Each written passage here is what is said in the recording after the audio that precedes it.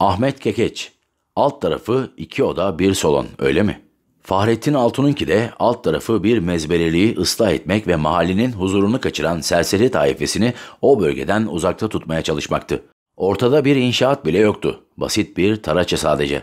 Ortalığı yıktınız. Olay yerine röntgenci görünümlü keşif elemanları gönderdiniz. Şimdi istihbar ediyoruz ki Yılmaz Özdil alt tarafı iki oda bir salon ekledim diye yeniden savunmaya geçmiş. Köşesini de terk etmiş. Bir süre yazmayacakmış. Biz de diyoruz ki hesabı ödemeden masadan kalkmak var mı Yılmaz? Cürmün sadece kaçak villaya ek inşaat yapıp denize yürütmek değil ki. Çok kabahatin var senin. Başka ülkelerde olsa o kalemi alırlar elinden. Adem'e mahkum ederler.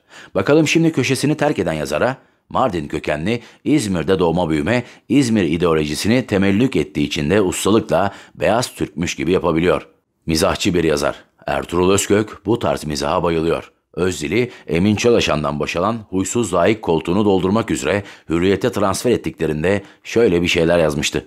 Bilgiyle, zekayla, yaratıcılıkla harmanlanmış mizah ne de hoş oluyor. Hoş oluyor evet. Özdil'in mizahına hepimiz bayılıyoruz. Kıçına hortum bağlasınlar da gör dediğinde katıla katıla gülüyoruz. Ampul kafalılar dediğinde kendimizden geçiyoruz. Dangoz dediğinde yaratıcılıkta sınır tanımayan bu üstün mizah karşısında nereye kaçacağımızı bilemiyoruz. Bidon kafa dediğinde yerlerde tepiniyoruz. Öyle yaratıcı ki. Eskiden himaye gördüğü medya grubundan rakip medya patronuna yani Aydın Doğan'a sallardı. Çifte telli oynayan ya da pijamalı Aydın Doğan görüntüsü hala taptaze hafızalardadır. Medya grubu battı yahut batırıldı. Bizimki bir süre değişik adreslerde dolaştıktan sonra sövdüğü adamın gazetesine transfer oldu ve başka taraflara sallamaya başladı. Bilgiyle, zekayla, yaratıcılıkla kalkıştığı yazılarında bol bol ampul eleştirisi yapıyor ama İmar Bankası ve Rumeli Holding konularına giremiyor. Her gün bayılarak Yılmaz Özgür okuyoruz ama Kepez'de ne olduğunu öğrenemiyoruz. Kimlerin kaç parası hortumlandı, kimlere şantaj yapıldı.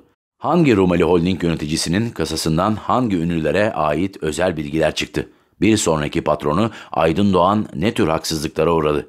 Doğan Medya grubuna yönelik psikolojik savaşın arkasında kimler vardı? Bilemiyoruz. Çünkü şallak mallak her konuya dalan ve memleketteki soygun sisteminden yakınan Yılmaz Özdil, hukuken kesinleşmiş ve karara bağlanmış soygunlar karşısında ağzını açmıyor. Lafı nereye getireceğim? Bir vakitler bir TV sunucumuz ırkçılık kokan sözleri nedeniyle cezalandırıldı.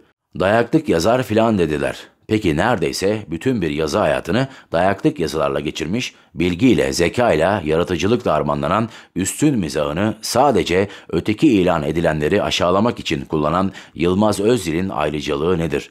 Özdil buram buram ırkçılık kokan Kerkürt ve Krovat esprilerini HDP'li Ahmet Türkiye atılan yumruktan sonra yumruk yazısıyla taçlandırmış, bazı ulusalcı gönüllerde tat kurmuştu. Dayaklık yazar özür diledi. Bir özürde eşsiz mizahını sağa sola bulaştıran Özdil'den bekliyoruz. Karambole getirip unutturmak yok.